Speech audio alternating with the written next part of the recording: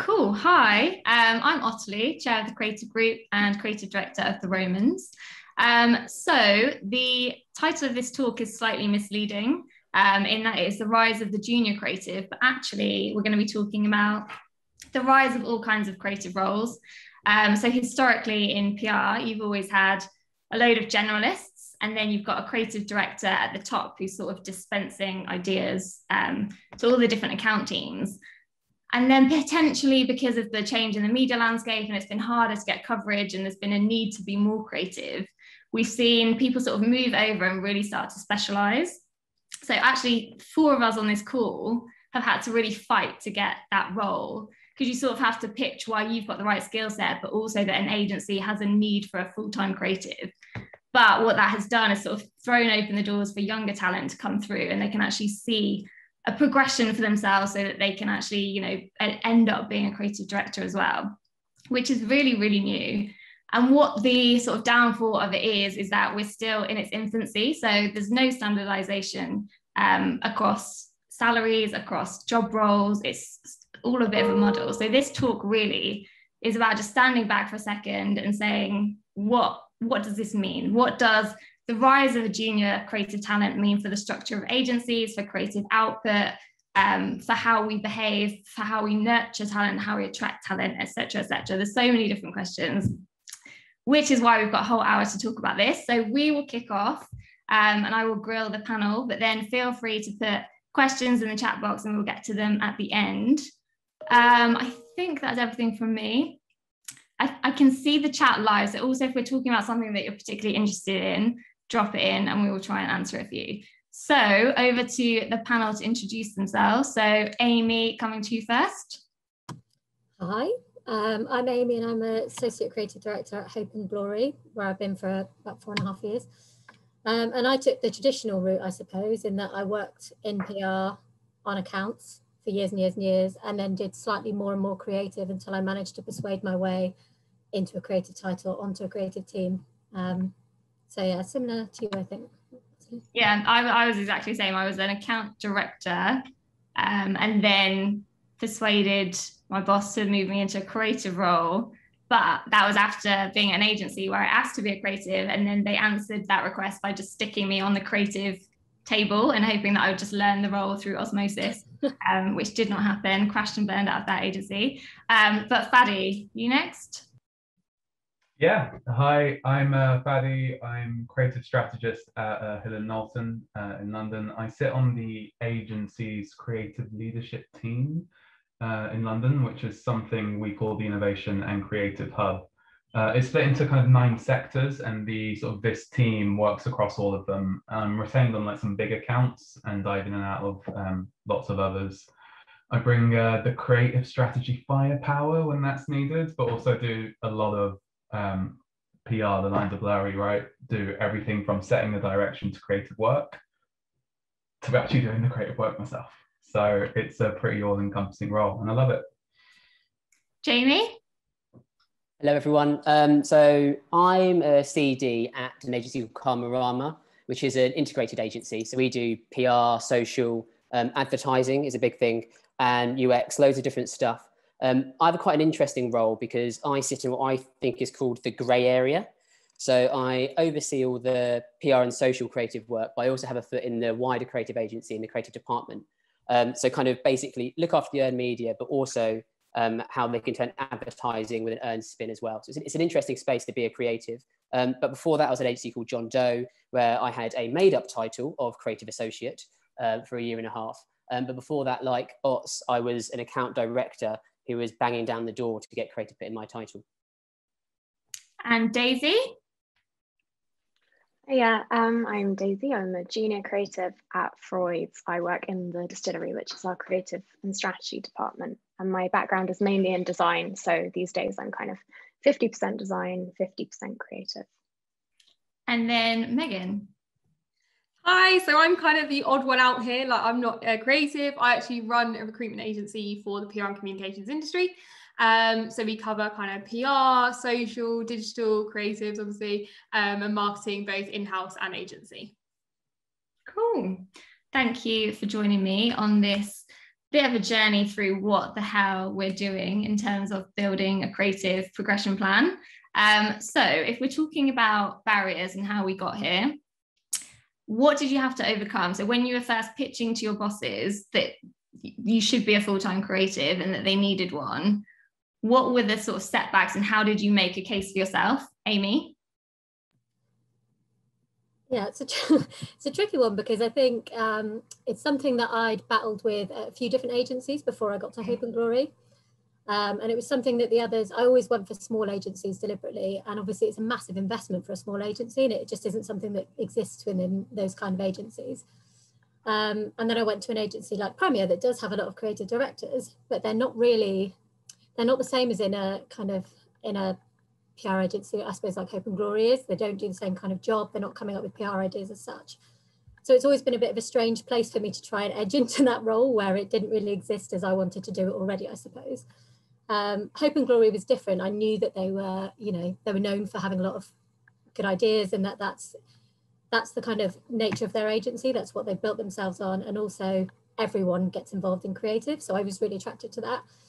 Um, but I suppose the other side of that is because everyone gets involved in creative, you have to really make a point for why your role should be different or why your title should be different.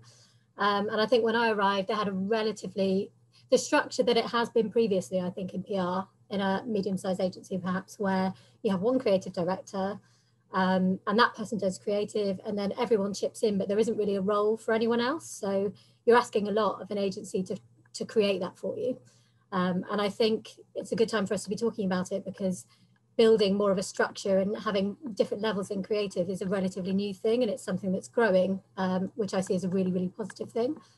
So yeah, the barriers to me, I suppose it was just trying to trying to convince that there are specific skills you have when you know there are skills that a lot of people in the agency have and that we all contribute anyway so why do you need a title or why do you need so my job was i suppose firstly I saw your title happen Ottilie, and that was a great idea. I thought, great, I can have that one. That's a that's a title I can use.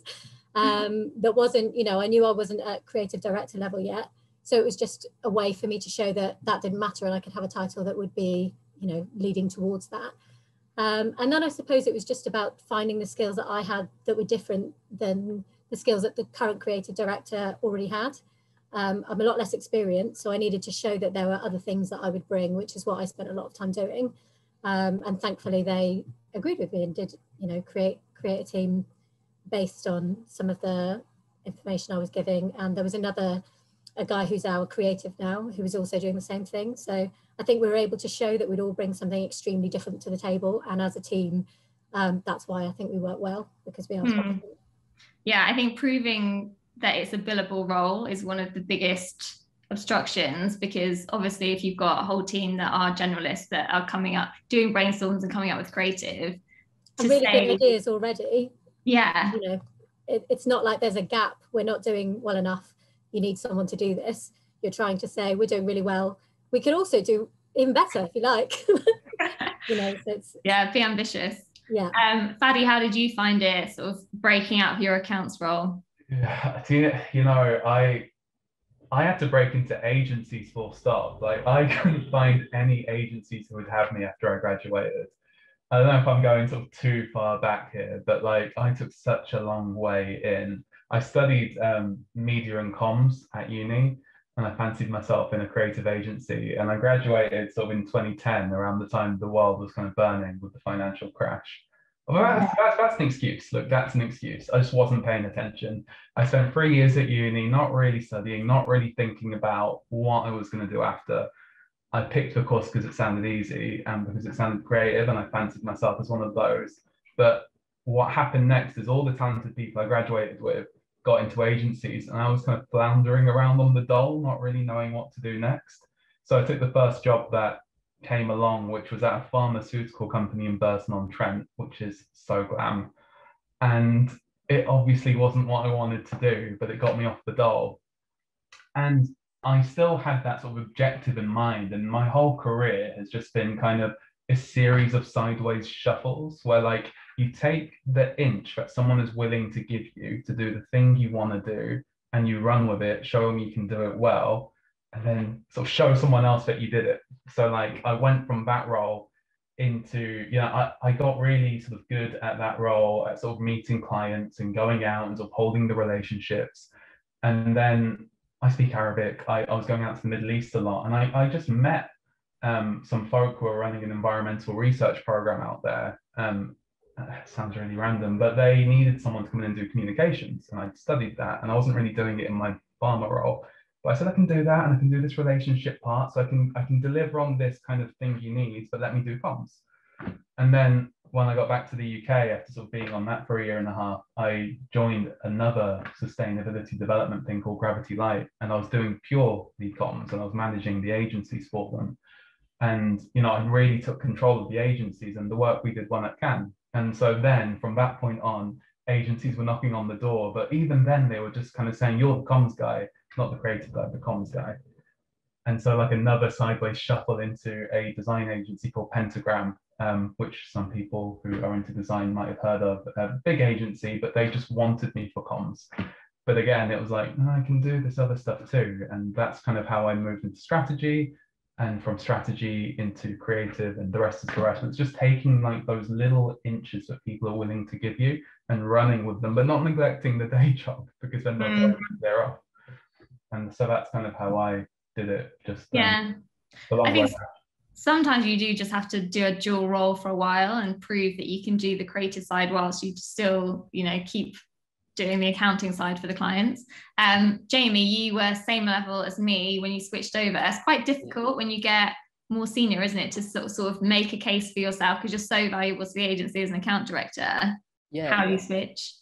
It's kind of like I'm going to echo everything that you guys have already said it's I think one of my one of my major like bugbears with the PR industry and how it's perceived, right, is that everyone does everything mm. and you've got hmm. to be like a jack of all trades. And that's like cool because it means you're tooled up with how to speak to a journal, how to write a social content calendar, how to client manage and, and all of that. But the idea that I think that it's kind of like everyone does creative is like it's a bit old hat, I think. And if you're the one that's coming up with all the, the ideas all the time, or at least kind of like the catalyst for the ideas or building them in really interesting ways, then it's kind of getting that point known. And that's kind of where I was at because kind of like coming up with an idea, getting the coverage on it, but going, that's great, but I want to be known for doing the ideas bit, not just getting the coverage bit. So by the time I was getting into AED level, it was a little bit kind of, a little bit kind of like sticking your heels in the ground and being like, I've, I've done this all the time now. I've done the dual role for six years let me just try this. I can still do the other bits as well as needed, but let me just try and focus on this and actually improve my career that way. Hmm. And I think I think that's that's a bit where it gets difficult, and that's kind of the hard conversations, right? Because it goes away from being like, what is the agency needed to kind of what you want.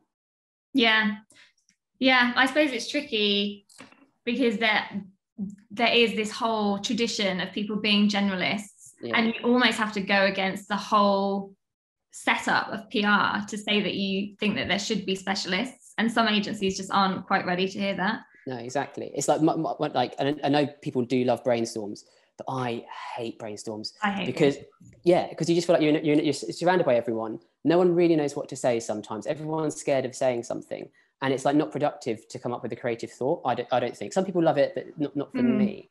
And it feels like that's kind of like the go-to to come up with ideas sometimes yeah that feels very that feels quite old school to me and i think that kind of change is needed yeah I, I would completely agree with that. And i also think it's a timings thing. So if you have got a million clients to service but then you're stuck in a room for half an hour with some haribo sweets are you going to come up with the best creative in the world? Probably not. Whereas if you are a full-time creative with two days to work on something you can probably think it through. 100% um, daisy coming in junior did you sort of graduate and consider different marketing disciplines? Like did you think about going into advertising? Like what, how did the lay of the land look to you as a brand new creative yeah so i i did theology at uni um, which is obviously something i'm really putting to use now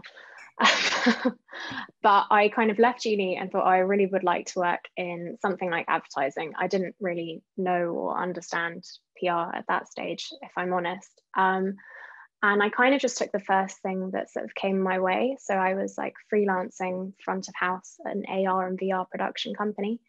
Um, and they had a creative team there who were like mainly kind of like UX and UI designers, but they also were coming up with ideas for content. And I saw them and I thought, oh, I really want to be on that team. Um, and so, kind of a little bit like Fadi, I did a series of sort of side steps and muscled my way in and like invited myself to brainstorms and stuff because I was in charge of the invites. So I just put myself on them. Um, and I kind of just did that until they accepted me as a junior creative. Um, and then I thought about it a bit more and I was like, this tech stuff isn't really up my alley. What else is out there? And then that's how um, I like first was introduced to Freud's. That's interesting because I I thought after sort of five six years of this role popping up, I thought it was sort of a rich breeding ground for juniors to come in and be like, oh my god, the opportunities are myriad. I can go anywhere. But maybe that it's still a job to be done. Yeah, I mean, I'm not sure. I'm not sure how it works for every agency, but um, my job title at Freud's was junior creative when I started, but I really was brought on to kind of help them with design. And when I was hired, it was sort of a discussion that I would take that step from design into creative, but probably still keep a bit of my like design capabilities. Hmm. And that's what's happened really. It's been a merging of the two, I think yeah again being made to sort of do that dual role while you prove yourself um megan we we've sort of talked about oh this role is so up and coming and we're seeing it across the board in lots of different levels is that being reflected in recruitment are you seeing people wanting to have a creative role at all levels and are you seeing a need from agencies to have a full-time creative I think definitely there's a lot more demand than there was when I started seven years ago. I think seven years ago when I started, it was pretty much just one creative director token, normally a white male in an agency. Mm-hmm. That was pretty much it. Um, I think there's definitely been more demand from the junior levels over the last few years, but normally people that are already in PR roles then kind of wanting to make that switch across. But I think the agencies actually creating the roles has been a lot slower than the demand for candidates to move into it. Hmm. So still a fight to be done there. Um, let's just talk about job roles quickly because I I had a lot of fun LinkedIn stalking all of you. Um, so Fadi, you are creative strategist, but then I noticed that in brackets you've got associate director. So I feel like with a lot of creatives, you sort of struggle to to show people where you sit in the pecking order, as well as having this creative title, because no one knows what any of it means. Yeah, hundred percent. And do you know when I first joined H and K, there was so many conversations about do we put that in the title or do we just limit it to creative strategists? Because on the one hand, like it's a huge agency, I work across a lot of teams, and it's a very quick shorthand way to sort of say to people, don't push me around that much. Like I'm, I, have I've been around the block a little bit. Hmm.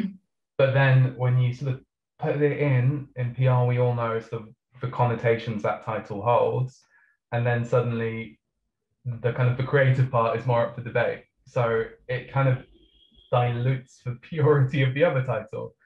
Um, so i kind of went for a no real solution type thing and put it in brackets. Um, so i don't know if that was the right thing to do or not. I love that. Hedging um, jamie you were a creative associate Mm-hmm. Can you tell us, I don't think there is an answer, how a creative associate differs from an associate creative?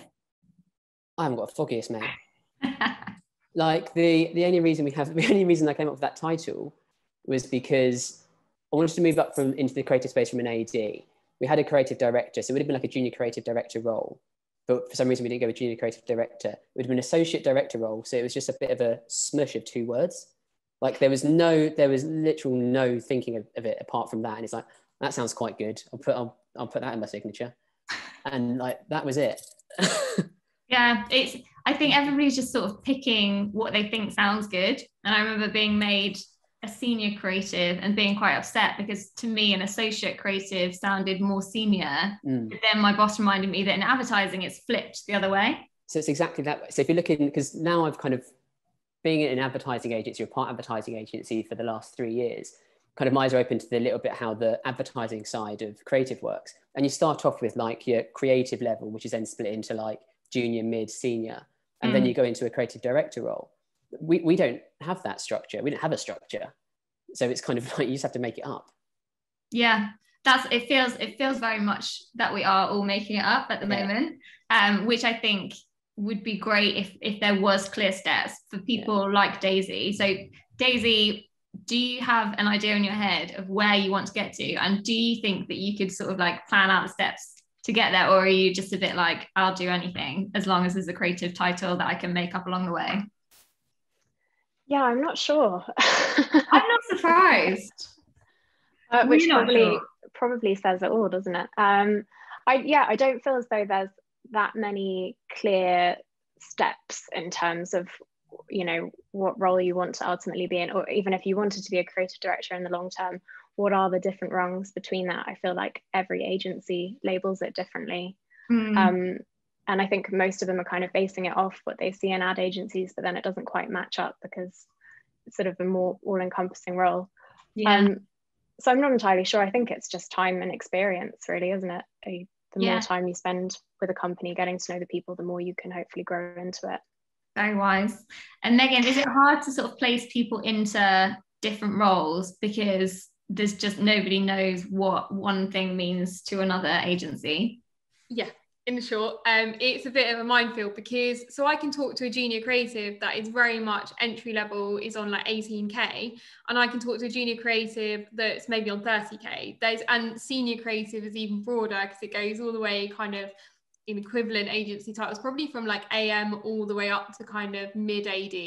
And then creative director, again, you've got people that are kind of senior ADs all the way up to kind of director level, board level people. So the brackets are huge. Um, and also, I would say, even though we're having this discussion and there is a lot more demand, there's still not that many agencies that have more than a couple of creatives in the team um, there's really not. So actually finding people, um, one thing that we find, I'm sure we'll come on to this a bit later, is that the PR agencies that are hiring within creatives want people that have been creatives, but within a PR setting, there's not many PR agencies that will look at creatives that have been in advertising agencies. They want people with that PR creative experience, mm. which is hmm. fine, but it's a bit of a catch 22 because those roles don't exist. Um, and then they struggle to hire in them. So then they maybe don't end up hiring because they don't find the right person with the right level of experience. And it kind of goes from there. So it's good to see more junior people coming into it. Yeah. Could I, could I, jump in on that as well, really quickly? Yeah. Because I think the, the interesting thing about Megan saying about like how even how even then creative is described between the different like channels or, or like sectors or whatever. It's like I remember going to an interview once and I was so buzzed because it was a creative director interview at a place I really wanted to get hired at. Um, and the, and I was, the person I was getting interviewed um, asked me like, so are you more like a copy guy or an art direction guy? Mm. And I was like, neither. Like, like the, the PR space is completely different. It's just ideas, right? So even how even how that corresponds is like another minefield yep. to kind of feel your way through. 100%. Yeah, yeah, I'd agree. I, I, suppose traditionally when you had the the model of the two creative directors or one creative director at the top, there was one design guy and one ideas guy um, and you're sort of still feeling like you have to fit that mold, but the possibilities nowadays are endless. Um, in terms of skills, of so if we've successfully made that jump and we've got an account manager or a senior account exec that wants to follow suit, what sort of skills are you looking for for them to be a full-time creative in some capacity, Amy? That's yeah, that's really hard question to ask. Um, it's very difficult because I think if it was someone, if it was someone within the agency that you're working in, that you know how they work and you know what they do, it'd be quite easy to help coach them towards that kind of role. If it was someone coming externally, I've absolutely no idea almost what what kind of questions I'd ask them or what I'd, I'd almost need to see it. So it is very difficult, and I suppose that's something that we need to deal with. If I'm talking about within the agency, because we're having, you know, the team is um, the way it's structured at the moment I Hope and Glory, it's quite small. Um, that is going to change in the future. Um, so that's something we're looking at.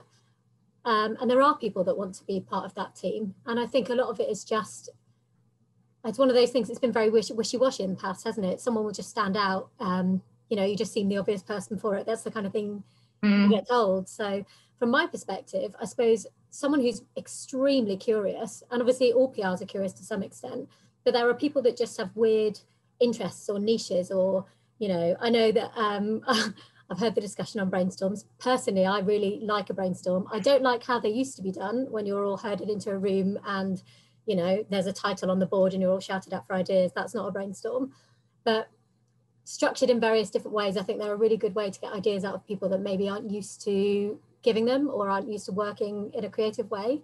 Um, and I think it's really important to get ideas off lots and lots of different people and to try and make sure that we're getting diverse backgrounds into that. Yeah. So, yeah, you know, for me, if I'm if I'm I try and make sure I get to know lots of lots of the junior people at Hope and Glory. And if someone has a particular niche interest in like music and has unusual ideas in that space, I'll remember that and I'll come back to them. Or, you know, maybe it doesn't lead to ideas yet, but I can tell that they've started to see to notice things in a different way or, you know, I don't know. That's the kind. I know it's kind. Of, again, it's it's not it's not very clear. It, this is the problem. It's not very clear. what yeah, of, it's hard to it's hard to talent spot in your own agency, I suppose, when people don't have the time to really attack a brief. So we do yeah. young lions teams, and some of them they come back with these incredible ideas, and you sort of say to them like, "Oh, do you think maybe you would want to be a creative?" And they're like, "Don't know, like don't know what the job is, don't know if I've got time to do it." And I think there's also a lack of people knowing that that's an, an available option to them. Definitely. Um, for me, it's a mix of three things. If I saw that someone was really curious and notices interesting things, that would spark my interest. If it's someone who does know how to land a story, because with the best will in the world, you know, and I know there's there will be ad people coming in, etc. If we're doing PR, most of our clients want editorial coverage, so it is it is useful to have someone who understands how the news is today, because how it was last year is different to how it is today. So yeah. you need to keep your hand in that. Um, and then as a final, I suppose if it's somebody who is used to or or understands how to take a brief and either question it or just just answer the brief, answer the brief how you think it really what the client, you know, give, you can give the client what they really need or give them advice on what perhaps might work better. And there are some people that are really good at doing that who don't officially consider themselves creative, but it's a really useful skill to have. Mm. Jamie, what are you looking for in creative talent at all levels? Yeah, I'm nodding along with Amy quite a lot. I think um, the, the, big thing for me, and I don't, I don't want this to sound really pretentious, but it's going to sound pretentious, is like a real understanding of like culture and mm-hmm. what's going on around and what's going on around people. Because if you have an interest in like a really niche interest in music or art or film or, or whatever, your influences are going to be different from someone that doesn't. So when you're coming to attack a brief, their points of reference are going to be wildly different to someone that doesn't so that that's kind of what I look for. It's kind of, and I, have like I've interviewed people before, and it's kind of like one of the questions is what are you into, and if you go what are you into, then you understand where people's heads are at, and you know they might have a bit more of a better kind of creative path. Mm. Yeah. I know that sounds really, really wanky. Sorry, but no, no, no. I, I would say that completely. It is people that have an interesting culture, and yeah, to your point, Amy, like a curiosity. Um, Megan, are you finding that people have got a clip like what kind of skills are agencies looking for in terms of the roles that they want to fill like are you getting briefs from agencies that are specifically looking for a design person when they say like an associate creative do they know what they mean um most of the roles I get in are on the ideas side of things rather than, um, I mean, maybe a mix of ideas and strategy, but rather than the kind of content, copy, all that side of things. Um, most of the roles I've seen in PR agencies have been like the idea side. Um, as I said before, I think I touched on this earlier, most of them want people who are already in PR and tested in a PR setting. Um, and most of them want people with creative in the title, which again is a really difficult one because you can have some really brilliant kind of juniors at kind of SE level who have really clear examples of, you know, great work they've done, but some places will still be reluctant unless they've got that creative bit in their title. Um, and I think the other thing that kind of gets stressed to me a lot, and a lot of the, I know it's something we've spoken about for Ottilie, is um, personality. So um, mm you know, obviously creative people have to be super confident because you need them to go into new business pitches a lot. Um, so they need to be likable, they need to be confident, but they don't, you don't necessarily want someone with a massive ego. So also someone who can accept criticism of the ideas. I think, especially at the junior level, you know, they've got lots of ideas um, and they obviously think all their ideas are great, but it's also having that awareness that not every single one of your ideas is going to work. Um, and that's something we hear a lot from clients that have maybe interviewed quite a lot of creatives. I don't know if you guys have found that as well when you've been interviewing. Um, but yeah, definitely that experience in a PR setting is one that comes up a lot and is quite a difficult one when you're looking at those kind of junior and mid levels. Mm-hmm. And Fadi, you're creative strategist. So we're talking about specializing to be a creative. You've specialized even further. Mm. What what sort of skills do you need to be that side of things? It's kind of similar. I mean, I, I'm, I was actually nodding along a lot with Megan there. I think the ego point is massive. Um, mm. And I think, so just setting aside everything else, like perseverance, thick skin, and a lack of ego are like the things I'm looking for in a junior. And we are trying to sort of breed them. I was going to say breed them young, that sounds creepy. We're trying to sort of like, we're trying to grow creative talent in H&K. We have this thing called the pool, which is runs across all nine sectors. MDs pick their best creative talent, and when a big a when a big brief drops, we sort of pick people from that pool and we sort of run it in a very structured way. No brainstorms, they're banned, like a proper strategy. It's briefed in, they're given some thinking time, and they do it in pairs. And we're really trying to sort of cultivate our own talent that way. And though the things I'm looking for are those things because and sort of not to be too sensitive because I mean mm. Sensitivity is a killer, especially when you're a young creative.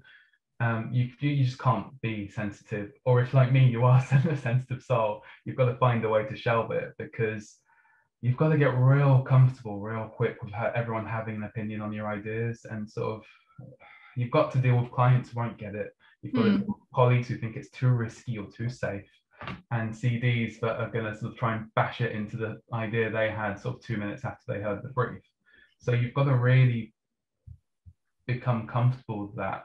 Um, and if someone shows me those qualities and that they have style, and I've taken flack on this in the past, I don't think you can sort of buy style. I think you have it or you don't. I, lots of people have disagreed with me, but if I see those qualities matched up with some kind of style, I'm interested and they're sort of someone I'm, I want to sort of bring up. Yeah, no, I'd completely agree with you in terms of resilience. Um, Amy, I know I, am asking you this because I know you've got an opinion on it. Can you teach creative? Yes, I really think you can. I think, you know, I'm not going to pretend that that that absolutely everybody in the world is going to be brilliant at doing this job. I don't mm-hmm. believe that's true. Um, and obviously, there is there same as anything, there are going to be real talents, which is brilliant. But um, this is why this is why I like working where I do, and the fact that there's a culture of everyone getting involved if they're interested, because I think, especially given how small the creative pool is in PR, we know how difficult it is to recruit. We know how difficult it is to get a group of people that aren't all the same person in a room.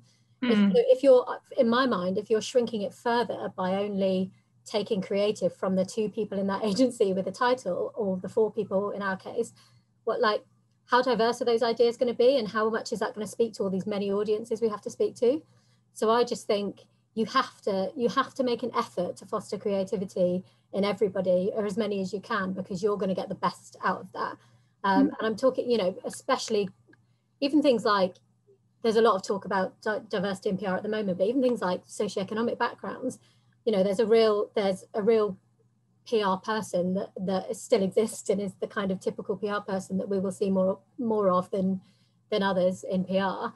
And I just think having yeah having that diversity and trying to get as many different voices and backgrounds as you can is is the best for all of us. And it you know it is a case of just I think it's because it's been such a long time where creative's been considered like a mag- mag- magical unicorn skill that just this one kind of middle-aged white man is able to do um, we've it's been kept away from people mm. by talking yeah. about it that way. When in reality, if you think about the fact that if you have that title, especially, obviously it gives you an opportunity to have the time to put to it, like you said, Ottilie. Um, but really, anybody, if they're given if they're given a moment and some inspiration and the brief and you know uh, some routes to go down perhaps mm. you know, something something to help them think along those lines if they're new to it i think anyone can do a good job. Practice. Yeah. Can I, can I just jump in for a second there? Because I think you said something that I really, um, really do agree with.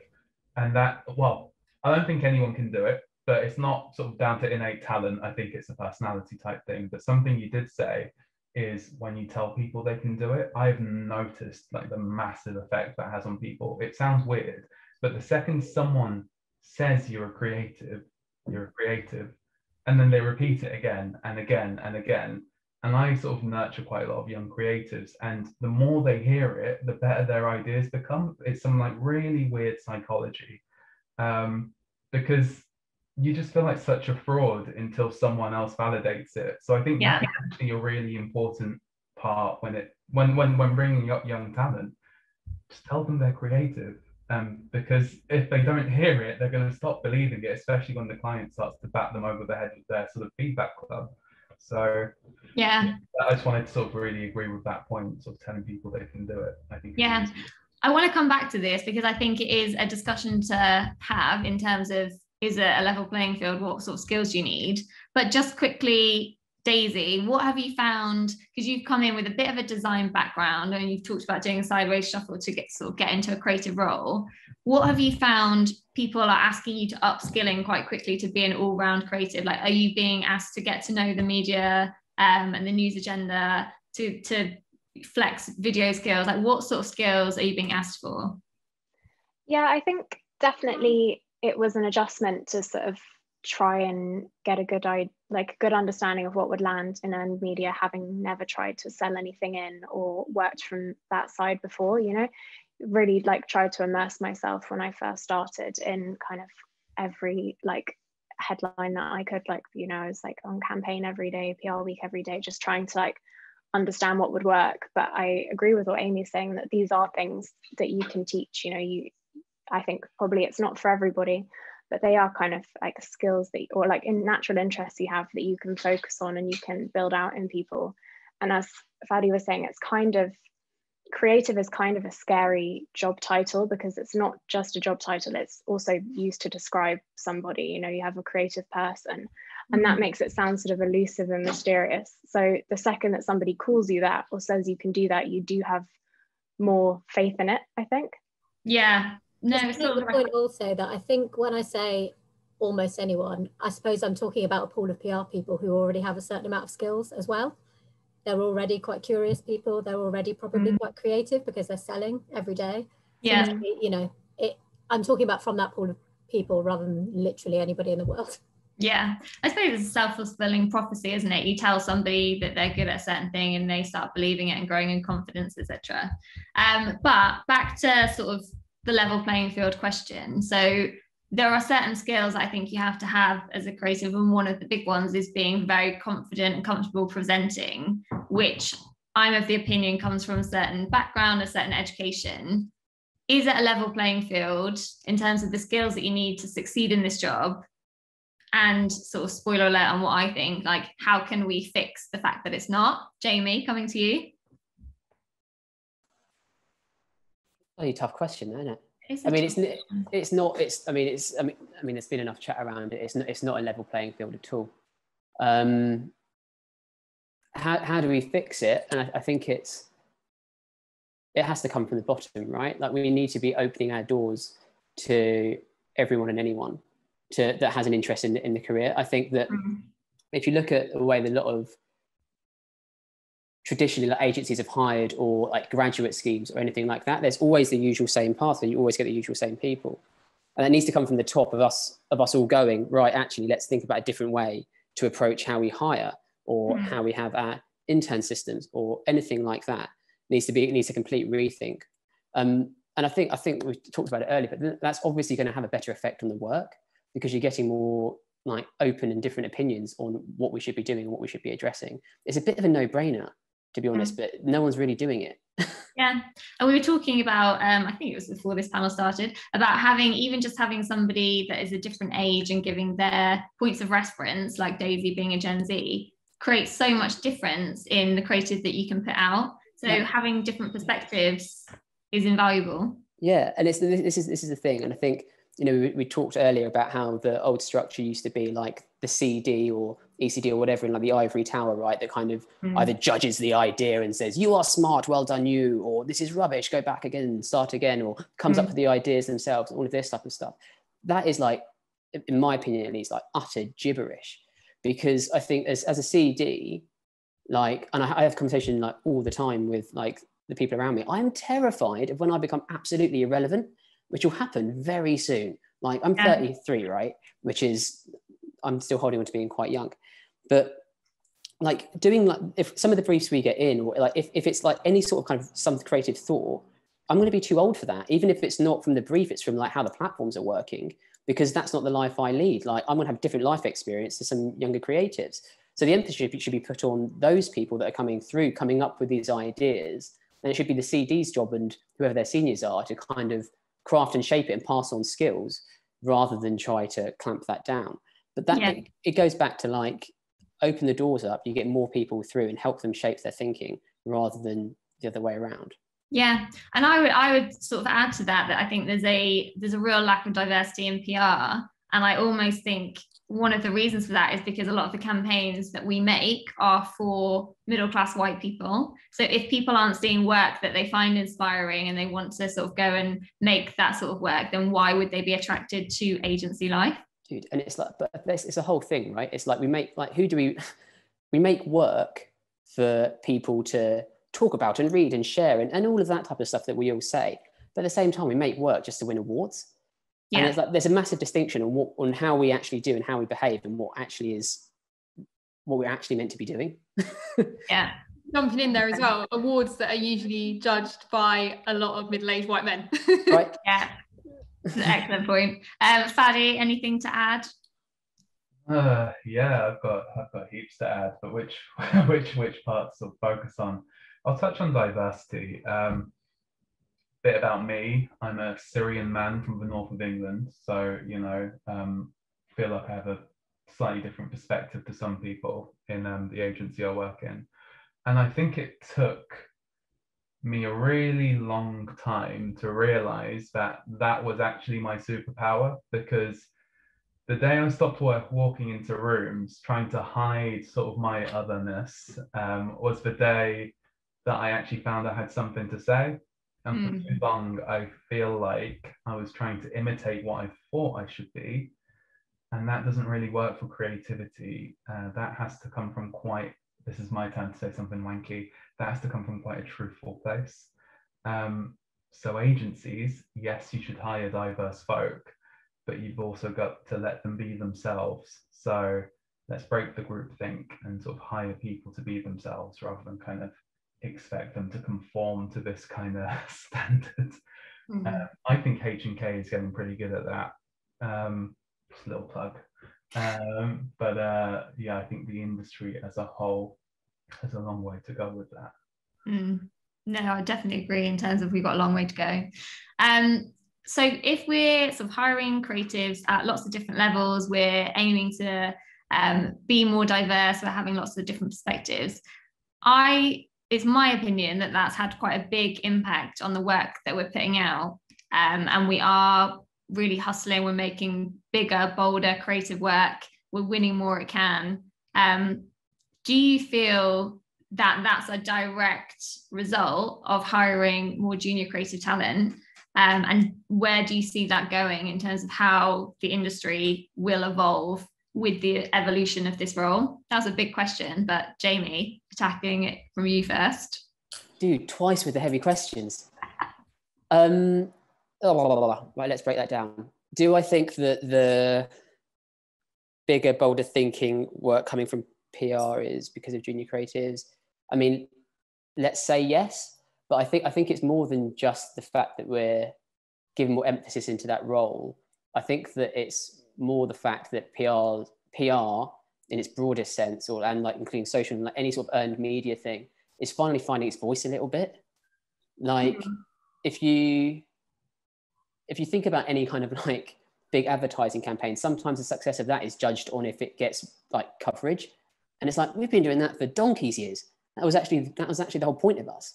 Yeah. So I, I think it's i think it's the actual thought that maybe maybe that the the lines are blurring a, a lot more.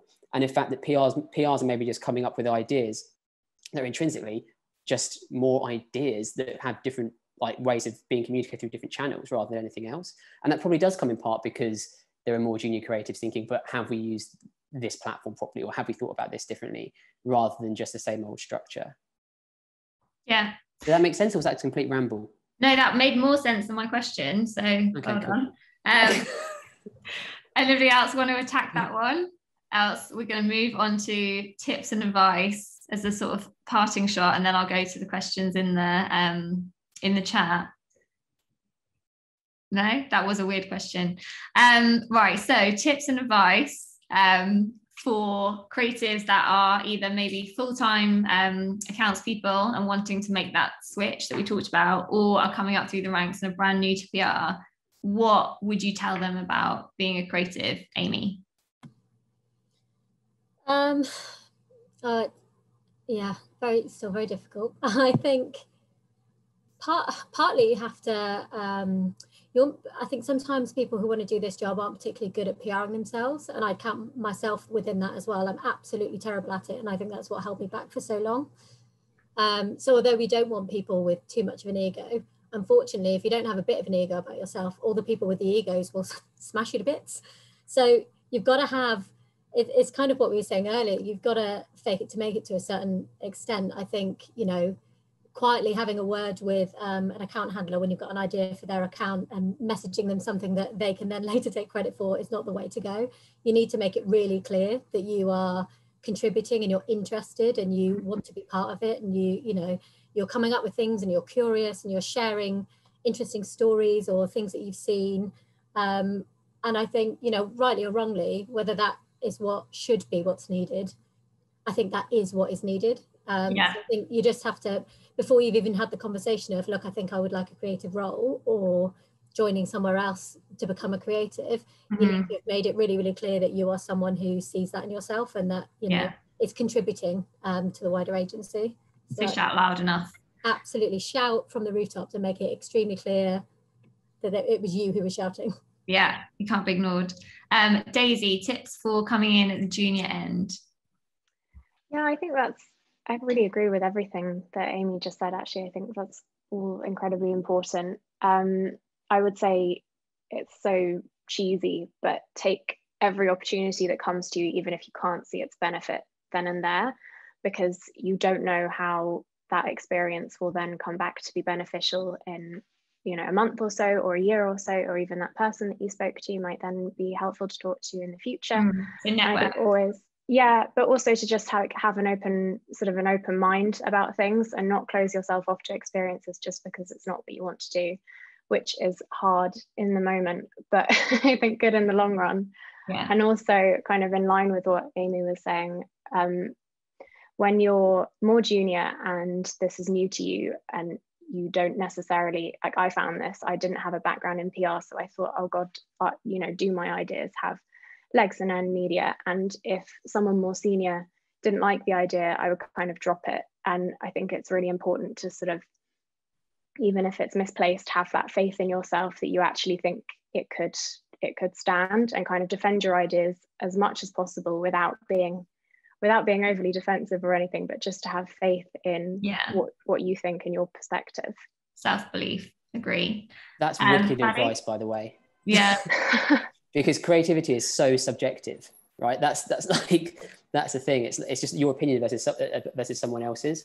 To have belief in what you're what you're thinking and belief in your idea, and even you like, and, and eventually you'll probably even build your own style of work. I think is it's such it's such an important point for a creative. Sorry, just mm-hmm. that's really good, Daisy. Sorry. is that is that your tips and advice, Jamie? To interrupt people just because you think they made a good point. um, yeah, I suppose. I, I, I, think I think the, the the ego thing is the ego thing is one point, but you've got mm. to be able to believe in what you're thinking. Yeah. Right. And you've and you've got to be able to take on feedback and, and all of that type of stuff. But especially when you're fighting for a role that might not even exist, you've really got to back yourself. And you might not be right the whole time, but you've really got to have that self belief to push it forward. Yeah, Fadi, advice from you? Mm-hmm. Lots of really good advice already. I guess the thing I will add, and I can't believe I'm saying it because I used to sort of roll my eyes hard when people said this to me when I was younger. I'm going to sound 100 in a minute, but it felt like it was bad advice back then because things were sort of slightly less attainable. But I think you should be making stuff. Like if you're not in a creative role, and you're as far away from it as can be. Because like some people are very close. The agency kind of knows they can do it and they have their champions. Others might have not even opened their mouth yet and they kind of want the role and they're not quite sure what they're sort of going to do. They might not even be in an agency.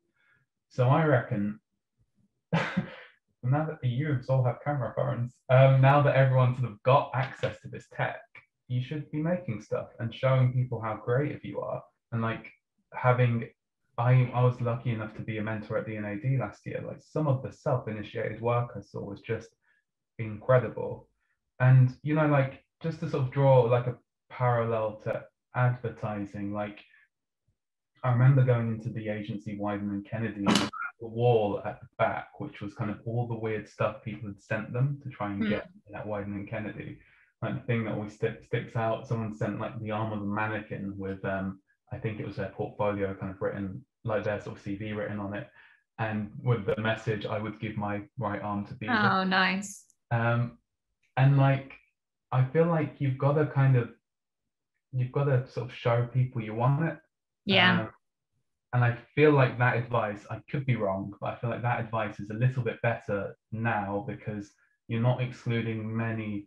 I accept that not everyone will be able to act on it, not everyone has time, not everyone has the tech, but the Yeah. barrier to entry is so low now that I feel like a lot more people could be acting on that. Hmm, so go above and beyond. And then Megan, coming from a privileged position of getting all of the feedback from agencies on what they're looking for, can you distill it for us? Yeah, so I guess I've got a few different points in. Stop me if I'm going on at all. But I guess so if you're coming at it from, I mean, I don't do entry level recruitment. I should say that straight away. So I'm probably not much use for people that are looking for their very first step. But certainly at that kind of AE, SAE level, I think one of the most important things if you're in a traditional PR role and you really want to get into creative is actually have like a clear list of things that you can say that was my idea. You know really like shout about the stuff you've done and your part in it because quite often i get people that go oh i really want to be a creative. And you go what have you worked on? Oh well my agency did this my agency did this the team did this. But actually it's like what did you do? What is your part in that? What Hmm. makes you the kind of really creative part of that team um, so that's my first thing, kind of, you know, if it's on your CV, whether you create like a portfolio website, um, you know, put links in your CV, make it stand out what you have actually done and what you've achieved. Um, I guess if you're already in a PR role, one of the things you can do is if your agency are not someone who has a creative team, like there's a lot of mid-sized agencies out there that literally have the one creative director still.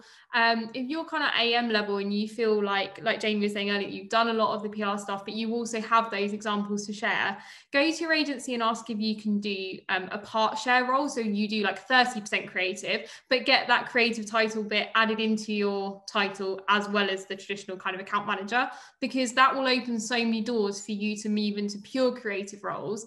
You know, when I've got clients that are saying I will only look at people, you know, with the creative title, unfortunately, sometimes my hands are tied with that.